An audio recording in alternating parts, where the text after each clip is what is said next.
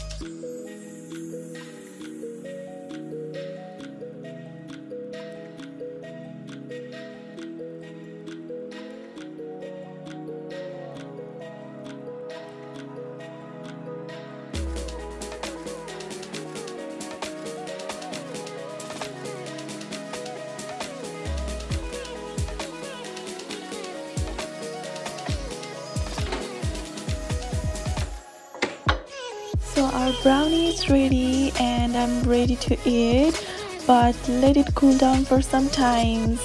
Anyways, thank you guys for watching. Please do not forget to like, share and subscribe to my channel.